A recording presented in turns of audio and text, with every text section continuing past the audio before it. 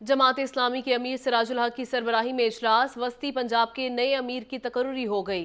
अमीरुल अजीम जमात इस्लामी वस्ती पंजाब के अबूरी अमीर मुकर कर दिए गए हैं। इस पर बात करेंगे हमारे नुमाइंदे फारूक हमजा से। फारूक हमजा नोटिफिकेशन जारी कर दिया गया। जी, अमीर जमात इस्लामी सनेटर सिराजुल हक की पंजाब की मजलिस शुरा का इजलास हुआ था, जिसमें वस्ती पंजाब में नए अमीर जो है, अमीरुल अजीम, उनको मुकर कर दिया गया है। और इस हवाले से जो अमीर जमात इस्लामी है, उनकी जानब से तैनाती का नोटिफिकेशन भी जारी कर दिया गया है। और इस हवाले से अमीर जमात इस्लामी का ये भी कहना था कि बस्ती पंजाब के मुस्तकिल अमीर के लिए जो है वो इंतबात का सिलसिला आइंदा दो रोज में शुरू होगा जिसके बाद जो है दो माह बाद नए अमीर का इंतखब किया जाएगा। जी। ठीक है, बहुत शुक्रिया फारूक हमजा।